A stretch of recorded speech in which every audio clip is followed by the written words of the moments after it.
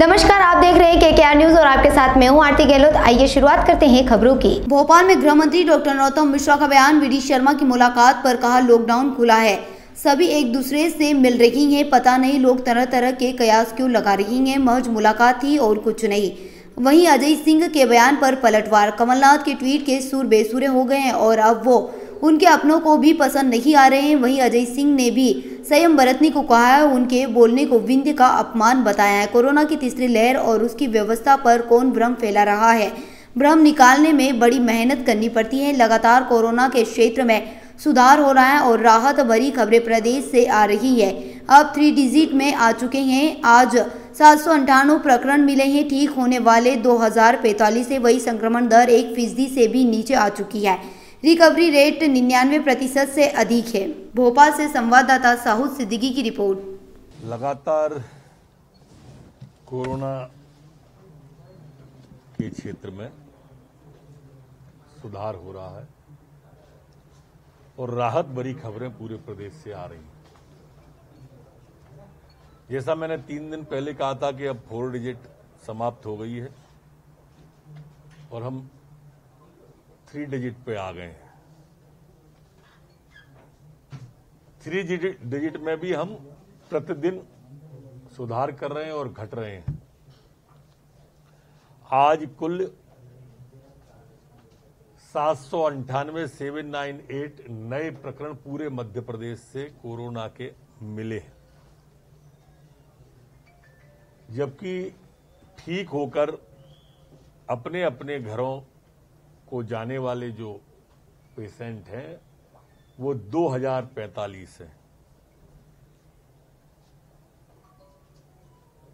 अगर हम संक्रमण देखें, संक्रमण दर देखें पॉजिटिविटी रेट देखें तो ये अभी एक प्रतिशत से नीचे आ गई है। आज 99 माइनस नाइन्टी थी वो, एक प्रतिशत से कम थी।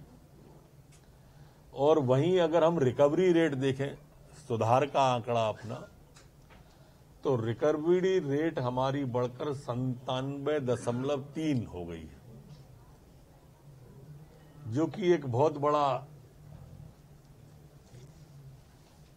अचीवमेंट है। आप सबको ये जान के भी प्रसन्नता होगी कि मध्य प्रदेश के सभी ज़िले पूरे के पूरे चौवन तीन प्रतिशत से कम हो गए इंक्लूडिंग इंदौर और भोपाल। मतलब पाँच प्रतिशत की कह रहे थे हम तीन से कम हो गए छतरपुर झाबुआ और अलीराजपुर ये तीन ज़िले ऐसे हैं जहाँ कल ज़ीरो प्रतिशत रहा कोई कोरोना का पेशेंट यहाँ पर नहीं मिला।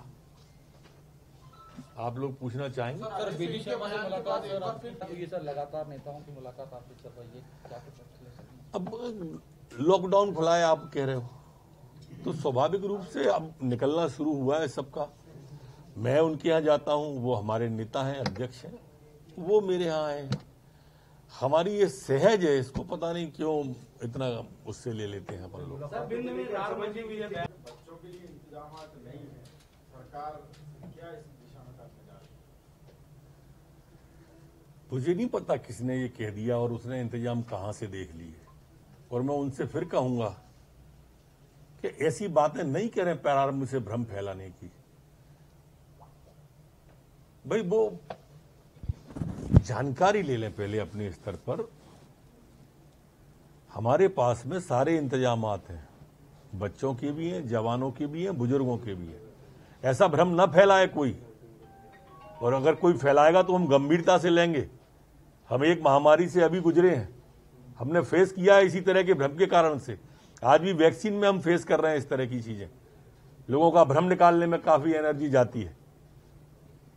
नपुंसक हो जाएँगे सुअर की चर्बी है भाजपा की वैक्सीन है और जी फिर बच्चों में अगर कोई फैला रहा है सख्ती से पेश आएँगे। सर के बयान के बाद कांग्रेस में एक बार फिर गुटबाजी सामने आई। है कमलनाथ के ट्विटर के सुर बेसुरे हो गए हैं। और वो उनके अपनों को भी पसंद नहीं आ रहे हैं। अब अजय सिंह जी ने उन्हें संयम बरतने की सलाह दी है। अभी तक मैं कहता था कि भाई, आप जो मुद्दे उठा रहे हो, ट्विटर पर ही राजनीति कर रहे हो उन्होंने कहा है कि इनके बोलने से, ट्वीट करने से कांग्रेस को नुकसान होता है। उनका बोलना, उन्होंने बिंद का अपमान बताया है। ये अच्छा नहीं है। उनकी अपनी है, अभी तक हम पे इल्ज़ाम लगा रहे थे कि हमारे कारण से सरकार गिर गई। अब बताओ माननीय कमलनाथ जी, अजय सिंह जी कह रहे हैं कि आपकी वजह से सरकार गिरी है। आप कांग्रेस के लोग आपस में बैठ के तय क्यों नहीं कर लेते हो कि किसकी वजह से सरकार गिरी है? आप जनता के बीच नहीं जा रहे कमलनाथ जी कोई बात नहीं है। अब कांग्रेसियों के बीच तो चले जाओ इन लोगों को तो मना लो कम से कम। सर पूर्व मंत्री हैं सर हमारे चैनल में बने रहने के लिए हमारे चैनल को लाइक शेयर और सब्सक्राइब करना ना भूलें।